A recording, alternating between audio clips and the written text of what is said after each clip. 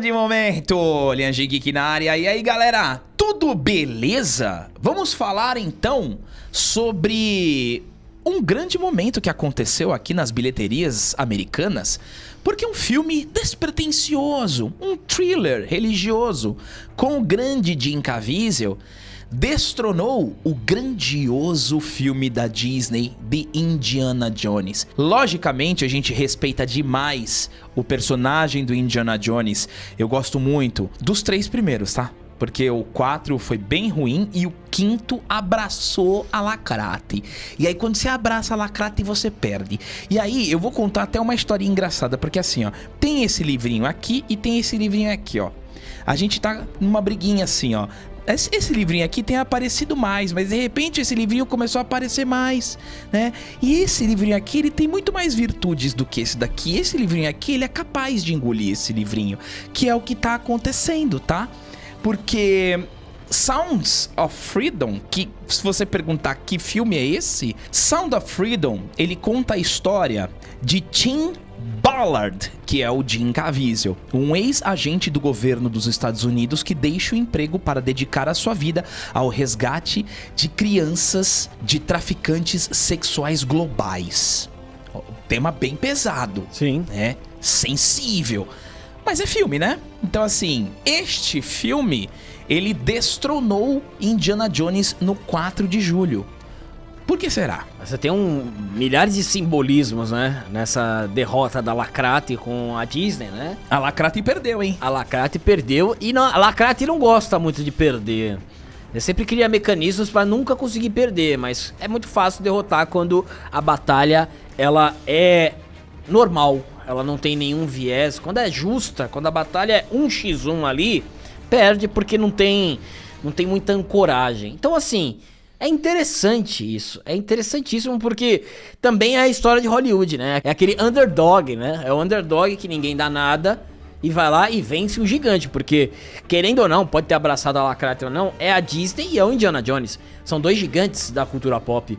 Agora, perder para um filme que é da Angel Studios, que é o estúdio do The Chosen. É um estúdio bem tranquilo, bem simples. Com baixo orçamento, com baixo, baixo orçamento, marketing. vai lá e aí toma um pau. É. Não gosta, né? Não gosta porque você abre um precedente.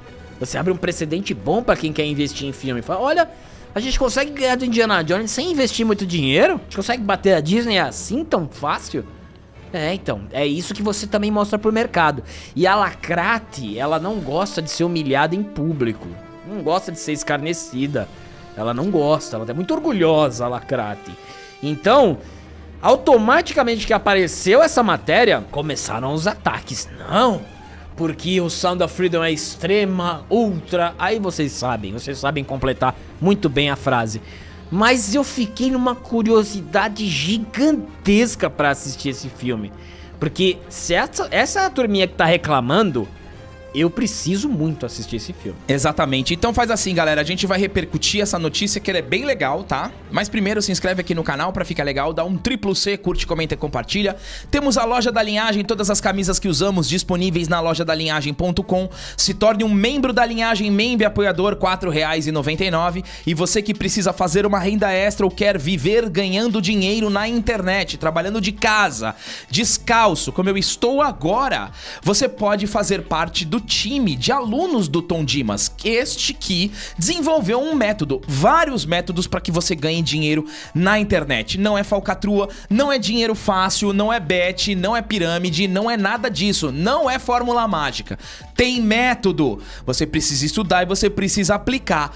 No comentário fixado, Primeiro comentário fixado, você tem o WhatsApp do Tom Dimas. Chame ele, sem compromisso. Se você precisa fazer mil, dois mil, três mil reais a mais do seu orçamento, chama ele sem compromisso, troca uma ideia com ele. Ele vai te dar um mini curso para você entender como são as ferramentas. E se fizer sentido para você, você vai com o Tom Dimas fazer a renda extra aí na internet. E o que precisa também fazer sentido para você é o inglês. Você tem que entender que o inglês é muito importante para você arrumar um emprego numa multinacional, para você ser ser promovido, para você viajar para fora. Você precisa do inglês. Não adianta, você tem que separar um tempo para investir em você mesmo, que é o melhor tipo de investimento. E a gente vai apresentar para você o método B-Way do professor Jonas Bressan. São mais de 150 videoaulas que você pode converter em áudio. Você tem acesso a uma plataforma exclusiva, aulas ao vivo e plantão de dúvidas. Você vai tirar sua dúvida diretamente com o professor Jonas Bressan. O método B-Way é o melhor curso de inglês da internet, galera. E é o curso de idiomas mais vendido da plataforma Eduz, porque tem muita qualidade. O professor Jonas Bressan tem mais de 20 anos de experiência e 9 livros publicados. Então você clica aqui na descrição, 100 reais de desconto e não demore para falar inglês. Vamos conversar então sobre este massacre de Sound of Freedom em cima de Indiana Jones. Só fazendo um complemento aqui, tá? Lionsgate comprou os direitos de distribuição de The Chosen. É. Tá? Então aqui, ó.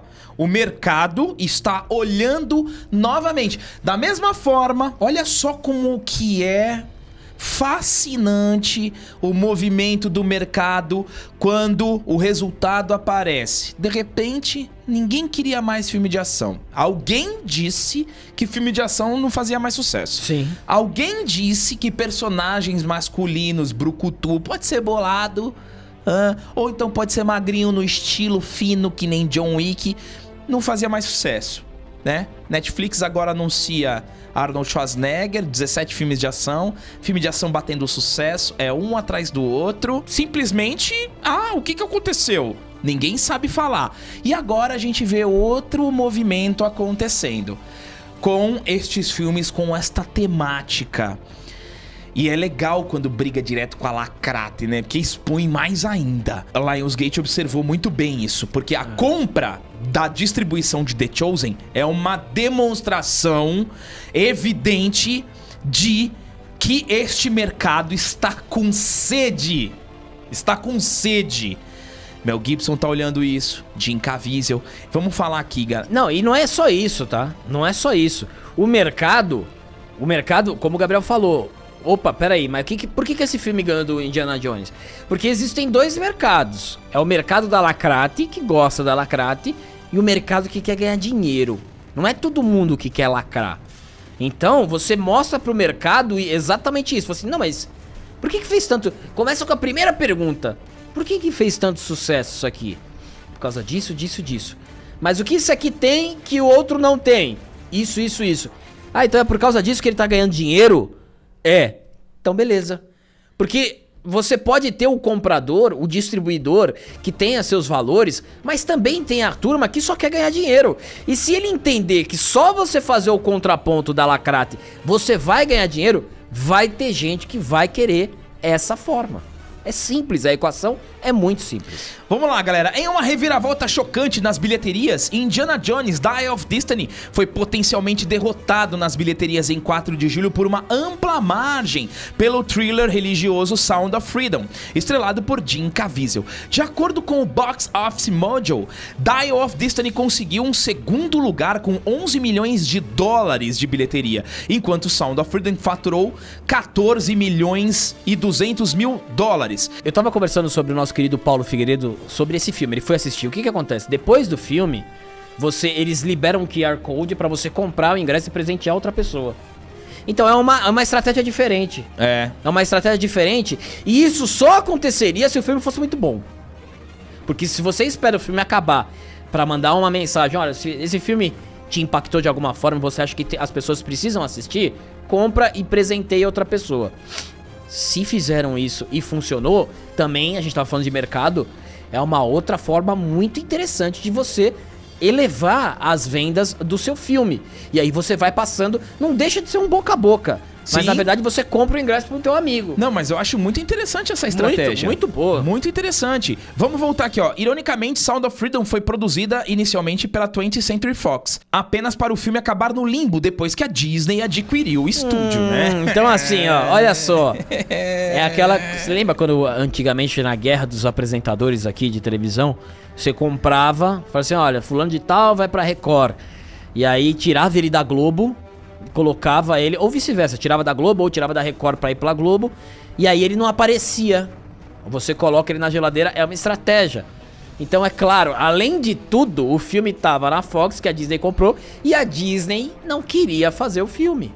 Olha que maravilha. É, porque não pode, né? Essa mensagem vai muito contra os objetivos.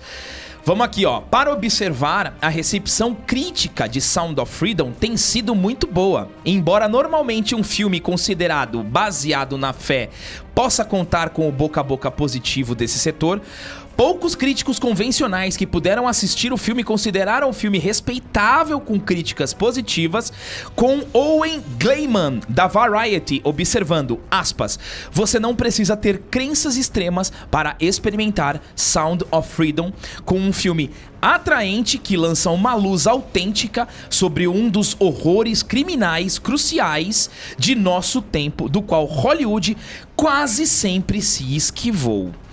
Essa observação é interessantíssima. E um outro ponto, tá? Sound of Freedom está com 100% do público na Rotten Tomatoes com mais de 5 mil avaliações.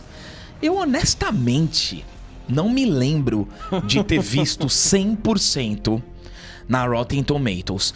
Acho que o mais próximo foi Top Gun Maverick, que tá com 99% da audiência. No crítico, a Rotten Tomatoes tá com 74.